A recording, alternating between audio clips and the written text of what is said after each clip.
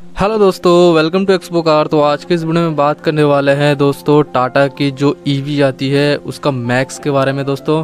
दोस्तों, टाटा ने पहले ईवी निकाली थी प्राइम करके, उसके बाद ईवी का मैक्स थोड़ा सा जो पावर वगैरह एक्स्ट्रा और किलोमीटर आपको एक्स्ट्रा मिल जाता है तो मैक्स वेरियंट निकाला है। दोस्तों, ये जो आप देख रहे हैं, ये एग्जिट प्लस लक्सरी वेरिएंट है मतलब कि ये सबसे ऊपर वाला वेरिएंट है। ईवी में तो आप इसका वॉक अराउंड करने वाले हैं। दोस्तों, क्या प्राइस है इसका, क्या माइलेज है, और क्या कुछ वारंटी देते हैं कंपनी सारी चीज़ें इस वीडियो में कवर करने वाले। तो वीडियो को एंड तक देखना वीडियो अच्छी लगे लाइक कर देना चैनल को सब्सक्राइब कर लेना दोस्तों। तो दोस्तों, सबसे पहले ना इसका डिज़ाइन से बात करना चाहूँगा। तो यहाँ पे इसका जो डिज़ाइन की गई है, वो सेम आपको जो नेक्सोन मिलता है, वैसा ही है, कोई चेंजेस नहीं है। खाली इसमें जो है थोड़ा सा आपको ब्लू जो है ब्लू फ़िल्टर टाइप का आपको जो मिल जाता है, जो काफ़ी इलेक्ट्रिक आपको जो है फील कराती है। कार जो है ऑलरेडी इलेक्ट्रिक है और दूर से पता चल जाता है। तो ये दोस्तों इसका डिज़ाइन थोड़ा पास से मैं अगर आपको दिखाता हूँ तो कुछ इस टाइप से मिलता है। फ्रंट यहाँ पे देखेंगे तो यहाँ पर आपको जो है पियानो ब्लैक फिनिशिंग के साथ आपको यहाँ पे फ्रंट आपको मिल जाता है दोस्तों, ये देख लीजिए। नीचे आपको थोड़ा एरो टाइप में डिज़ाइन मिल जाता है, बीच में टाटा का लोगो और यहाँ पे जो है साइड में आप देखेंगे तो ईवी की ब्रांडिंग की गई है। और नीचे अगर आप देखेंगे तो यहाँ पर आपको जो है, आपको ब्लू ब्लू टाइप का जो है एक्सेंट दिया गया, नीचे स्किट प्लेट और यहाँ पे हेडलैम्प देखेंगे तो यहाँ पे आपको प्रोजेक्टर और हेलोजन आपको दोनों एक साथ मिलता है दोस्तों ड्यूअल हेडलैम्प मिल जाता है। और ये जो है आपका जो येलो फॉर्म में है दोस्तों। नीचे अगर आप देखेंगे तो ये आपका जो है फॉगलैम्प मिल जाता है साइड में आपको जो है फिनिशिंग मिल जाती है ब्लू एक्सेंट की। तो कुछ इस टाइप से इसका जो दोस्तों फ्रंट है। अब आते हैं दोस्तों इसके साइड प्रोफ़ाइल को देखते हैं। तो कुछ इस टाइप से आपका जो इसका साइड प्रोफ़ाइल मिल जाता है दोस्तों दोस्तों डायमेंशन की बात करूँ तो यहाँ पे आपको जो है उनतालीस सौ तिरानवे एम इसकी लंबाई हो जाती है और चौड़ाई है जो दोस्तों इसकी, वो अट्ठारह सौ ग्यारह एम इसकी चौड़ाई है और जो गाड़ी की ऊंचाई है दोस्तों, वो सोलह सौ सोलह एम इसकी गाड़ी की जो ऊंचाई है। और गाड़ी की जो व्हील बेस की बात करूँ तो यहाँ पे आपको चौबीस सौ अट्ठानबे एम का आपको व्हील बेस मिल जाता है और ग्राउंड क्लियरेंस दोस्तों एक सौ नब्बे एम है। दोस्तों, क्योंकि इसमें जो बैटरी पैक है, थोड़ा सा नीचे की तरफ़ इसलिए इसका आपको ग्राउंड क्लियरेंस थोड़ा कम मिल जाता है। टायर सेक्शन की बात करूँ यहाँ पे तो यहाँ पर आपको 215 60 आर 16 का आपको टायर मिल जाता है। दोस्तों, जो प्राइम और मैक्स का जो पहचान नहीं है, यहाँ पे एलॉय आपको पाँच नट वाला आपको मिल जाता है। ये ईवी e की यहाँ पे बैजिंग की गई है, और यहाँ पे भी आपको इलेक्ट्रिक का जो है फील देने के लिए ब्लू एक्सेंट है। पियानो ब्लैक फिनिशिंग में आपको ओआरबीएम इंडिकेटर आपको इसी में मिल जाता है। और ए पिलर दोस्तों, यहाँ पे ब्लैक मिल जाता है, दोस्तों, देख सकते हैं। और यहाँ पे जो है बी पिलर वो भी आपको ब्लैक आउट मिलता है। दोस्तों, ये है इसका जो डोर हैंडल है बॉडी कलर में आपको मिल जाता है दोस्तों। और दोस्तों, यहाँ पर आपको जो है फ्यूल फिलर कैप मिलता है, लेकिन दोस्तों, यहाँ पे फ्यूल फिलर यहाँ पे फ्यूल नहीं डालना है दोस्तों, यहाँ पे चार्जिंग पोर्ट है C C S two port common port मिल जाता है दोस्तों यूनिवर्सल है। और यहाँ पर दोस्तों, ये मैक्स में आपको यहाँ पे रियर डिस्क ब्रेक मिल जाता है, दोस्तों, यहाँ पे चारों के चारों डिस्क ब्रेक आपको देखने को मिल जाता है। तो ये है दोस्तों मैक्स का जो एक पहचान है। और अब बात करते हैं दोस्तों, इसका रियर प्रोफ़ाइल की तो ये यहाँ पे आप देख सकते हैं इसका रियर सेम नेक्सोन का डिज़ाइनिंग है, बस आपको यहाँ पे जो है ब्लू एक्सेंट देखने को मिल जाता है इलेक्ट्रिक फील कराने के लिए दोस्तों। ये है दोस्तों इसका जो है रियर टेल लैम्प ये जो है आपको एलईडी में मिल जाता है, जो टेल लाइट्स होती है, बाकी जो है रिवर्स लैम्प्स और इंडिकेटर वो आपको हेलोजन में मिलता है दोस्तों। और यहाँ पे ये जो टेक्नोलॉजी यूज़ की गई है, उसका नाम है जिप्ट्रॉन दोस्तों। बाकी इसके बारे में अभी बताने वाला हूँ पूरा। और ये है दोस्तों ईवी की ब्रांडिंग यहाँ पर भी की गई है। और यहाँ पर आपको डिफोकर ग्लास मिल जाता है, बाइपर विद वॉशर, ऊपर आपको हाईमंट स्टॉप लैम्प और सबसे ऊपर आपको शार्क विन एंटीना देखने को मिलता है दोस्तों। डेमो व्हीकल है दोस्तों, आप देख रहे हैं ये जो है। नीचे आपको जो है रिफ्लेक्टर भी मिल जाता है, रिफ्लेक्टर के साइड में भी आपको जो है ब्लू एक्सेंट दिया गया है। देख सकते हैं, दोनों साइड में। दो आपको रिवर्स पार्किंग सेंसर्स देखने को मिल जाता है दोस्तों गाड़ी में। और नीचे आपको जो सिल्वर कलर की स्किट प्लेटें देखने को मिल जाता है। सामने और पीछे दोनों आपको स्किट प्लेटें मिल जाती है दोस्तों। ये इसका जो बूट ओपन करने के लिए बटन करते इसका बूट को ओपन और अगर मैं इसका जो बूट दिखाता हूँ आपको एक बार तो यहाँ पर आपको जो है इसका चार्जिंग किट वगैरह सारा सामान इसके बूट के साथ ही मिलता है, देखो। यहाँ पे इसके अंदर रखा हुआ है। दोस्तों, जो है 3.3 किलोवाट मतलब जो 15 एम्पियर वाला जो चार्जिंग किट होता है, वो आपको यहाँ पे मिल जाता है। रियर पार्सल ट्रे भी मिल जाता है। यहाँ पे जो है हैंडल है दोस्तों इसको बंद करने के लिए। और अगर लीटर की बात करूँ तो यहाँ पे साढ़े तीन सौ लीटर का आपको बूट स्पेस मिल जाता है दोस्तों। अंदर लगेज लैम्प भी लगा हुआ है, देख सकते हैं। और यहाँ पर भी आपको 12 वोल्ट का आपको पावर आउटलेट मिल जाता है दोस्तों। चलते हैं दोस्तों, अब इसके इंटीरियर में तो पहले आपको रियर इंटीरियर दिखाता हूँ इसका। दरवाज़ा ओपन कर लेते हैं। तो कुछ इस टाइप से आपको जो है इसका डोर आपको देखने को मिलता है। देख सकते हैं यहाँ पे आपको जो फिनिशिंग काफ़ी अच्छी है और मतलब उतना ज़्यादा भी नहीं कहूँगा, लेकिन फिर भी यहाँ पे जो है लेदर फिनिशिंग आपको मिल जाता है, देख सकते हैं। और यहाँ पे जो हैंडल है, ये ये भी आपको पियानो ब्लैक फिनिशिंग में दिया गया है, देख सकते हैं। और यहाँ पर जो है बॉटल होल्डर आपको देखने को मिल जाता है, नीचे स्पीकर ग्रिल और ये है दोस्तों, इसका जो है रियर की सीटें आप देख सकते हैं। एडजस्टेबल हेडरेस्ट के साथ आपको मिलता है, बहुत बढ़िया है। और आपका पूरा का पूरा लेदर सीट मिल जाता है, देख सकते हैं। दोस्तों, इस पर कोई सीट कवर नहीं चढ़ा हुआ है। एकदम गाड़ी की जो सीट आती है, वही है। और यहाँ पर आप देखेंगे तो यहाँ पर आपको सेंटर आर्मरेस्ट देखने को मिल जाता है। दो कप होल्डर भी दिया गया है, देख सकते हैं यहाँ पर। बहुत बढ़िया है। और मैं यहाँ पर अगर इसका जो लेग रूम की बात करूँ तो यहाँ पे बहुत अच्छा खासा आपको लेग रूम देखने को मिल जाता है। अंडर थाई सपोर्ट भी बहुत अच्छा खासा आपको मिल जाता है। यहाँ पे मुझे तो अच्छा खासा मिल रहा है। और यहाँ पे देखिए, यहाँ पे रियर एसीवेंट्स आपको देखने को मिल जाता है। तो यहाँ से अगर आप इसका डैशबोर्ड देखेंगे तो कुछ इस टाइप से आपको दिख जाता है, देख लीजिए। बहुत ही अच्छा लग रहा है। देखिए, हर जगह पे आपको ब्लू एक्सेंट देखने को मिलता है, जो बहुत बढ़िया लग रहा है। अब चलते हैं दोस्तों इसके जो फ्रंट के इंटीरियर में, पहले दरवाज़ा ओपन करते हैं, यहाँ पे रिक्वेस्ट सेंसर देखने को मिल जाता है। तो यहाँ पर देखेंगे, ये है इसका जो फ्रंट डोर का इनर साइड तो यहाँ पे जो है, यहाँ पे भी आपको जो है लेदर फिनिशिंग मिल जाता है। यहाँ पे ये इस टाइप से टेक्चर के साथ और चारों power window one shot down features के साथ। और नीचे आपको बॉटल होल्डर वगैरह अम्ब्रेला होल्डर भी यहाँ पे मिल जाता है दोस्तों। नीचे आपको स्पीकर ग्रिल्स यहाँ पे ट्यूटर्स देखने को मिल जाता है और यह है मिरर को एडजस्ट करने के लिए बटन और यहाँ पे सीट की बात करें तो कुछ इस टाइप से आपको जो सीट्स देखने को मिल जाता है फ्रंट की।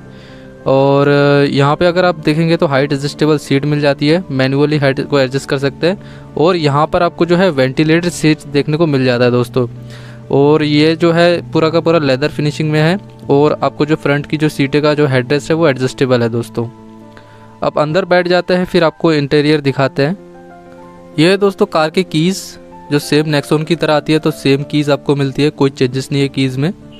दोस्तों अगर स्टेयरिंग की बात करूँ तो यहाँ पे आपको जो है फ्लैट बॉटम स्टेयरिंग मिल जाता है, यानी कि डी कट स्टेयरिंग मिलता है। और आपको लेदर फिनिशिंग के साथ मिलता है दोस्तों, और आपका जो यहाँ पे ब्लू थ्रेड से आपको स्टिचिंग की हुई मिलती है दोस्तों। और यहाँ पे म्यूज़िक के कंट्रोल्स मिल जाते हैं। कॉलिंग रिसीव कॉलिंग कट का भी ऑप्शन है। और यहाँ पे पियानो ब्लैक फिनिशिंग और यहाँ पर आपको जो है क्रूज कंट्रोल का बटन आपको देखने को मिल जाता है दोस्तों। और यहाँ पर अगर देखेंगे तो यहाँ पे आपको जो हेडलैम्प है वो ऑटोमेटिक मिल जाता है। और साइड में आपको जो है ऑटोमेटिक रेंज सेंसिंग वाइपर भी आपको देखने को मिल जाता है। और जो इसका स्टेयरिंग है एक बार चेक कर लेते हैं। टिल्ट है कि टेलीस्कोपिक है, दोनों है।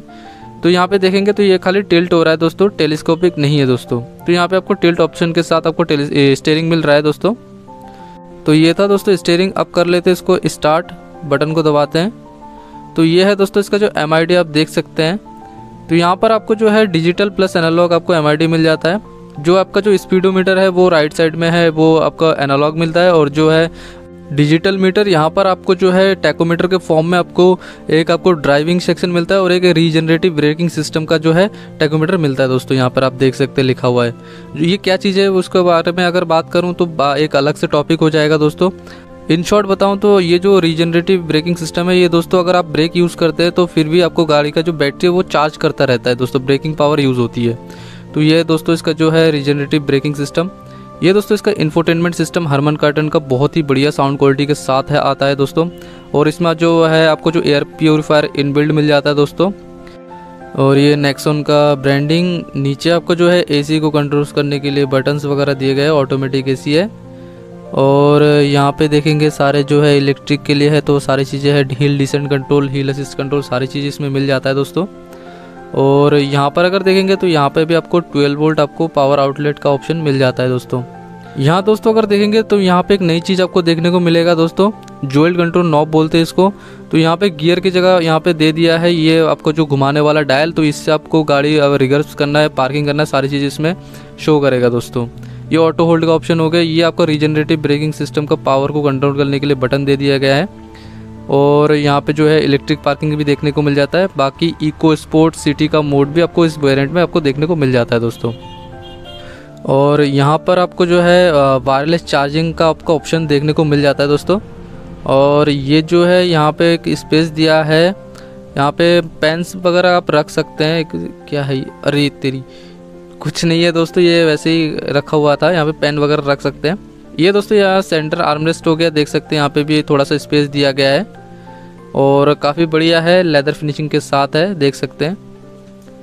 तो ये था दोस्तों, अब इसका जो है, अगर ग्लव बॉक्स की बात करूँ तो यहाँ पे देख सकते हैं, बहुत ही बढ़िया ग्लव बॉक्स आपको दिखने मिल जाता है टू सेक्शन में है, ऊपर भी है, नीचे भी अंदर लाइटें भी है। और जो है ग्लास वगैरह रखने के लिए भी स्पेस दिया गया है यहाँ पर। ये था दोस्तों डैशबोर्ड अब यहाँ पर जो है, यहाँ पे आई जो है, वो ऑटो डिमिंग फ़ंक्शन के साथ मिल जाता है दोस्तों, बहुत बढ़िया है। और यहाँ पर देखेंगे जो रेन सेंसर जो लगा हुआ है, उसको जस्ट ऊपर ही लगा हुआ था, इससे पता चलता है दोस्तों इस कार में रेन सेंसिंग वाइपर लगा हुआ है। ये दोस्तों इसका जो है रूम लैंप हो गया, जो कि एलईडी में आता है पूरा। ये है दोस्तों इसका सनरूफ तो ये है इसका सनरूफ आप देख सकते हैं। बहुत बढ़िया चीज़ है, आपको घूमने के लिए अगर जाते हैं कहीं पे पहाड़ों में तो सनरूफ से एक अलग ही फील आता है। छोटा है हालाँकि, लेकिन फिर भी इनफ है दोस्तों।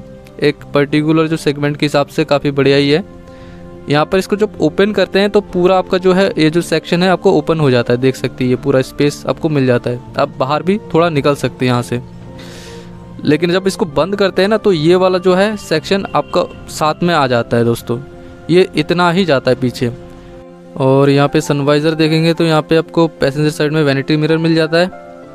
और इधर का जो सनवाइज़र है ड्राइवर साइड में यहाँ पे वैनिटी मिरर नहीं है, खाली टिकट होल्डर मिलता है दोस्तों। अब इसका आपको इंजन सेक्शन दिखाते हैं दोस्तों। यहाँ पे इंजन नहीं है, यहाँ पे आपको मोटर मिल जाता है, जो परमानेंट सिंक्रोनाइज्ड मोटर आपको देखने को मिलता है। और ये जो है, इसका जो पावर आपको आउटपुट मिलता है, वो 143 पीएस की पावर जनरेट करती है। और अगर टॉर्क की बात करो तो 250 एनएम का आपको टॉर्क मिल जाता है। बहुत ही पावरफुल आपको यहाँ पे मोटर मिलता है दोस्तों। और इसका जो बैटरी पैक की बात करूँ तो यहाँ पे forty point five kilowatt और का आपको बैटरी पैक मिल जाता है। लिथियम आयन बैटरी पैक मिलता है। जो करीबन चार सौ तिहत्तर किलोमीटर की आपको रेंज प्रोवाइड करवाती है दोस्तों ये कार, जो काफ़ी ज़्यादा है, बहुत बढ़िया आपको माइलेज मिल जाता है एक बार फुल चार्ज करने पे। और अगर इसका जो चार्जिंग का एस्टिमेट टाइमिंग की बात करूँ तो इसमें जो चार्जर आता है 15 एम्पियर वाला जो नॉर्मल 3.3 किलोवाट जो आपको हर गाड़ी के साथ मिलता है, वो आपको 10 से 100 परसेंट होने में आपको लगभग 15 घंटे का समय लेती है।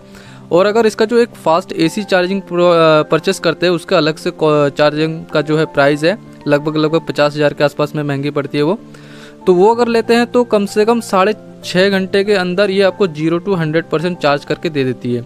और इसका जो कॉमन जो पोर्ट आता है डीसी फास्ट चार्जिंग तो अगर उससे चार्ज करते हैं तो लगभग 56 मिनट के अंदर ये zero to eighty percent charge हो जाता है दोस्तों।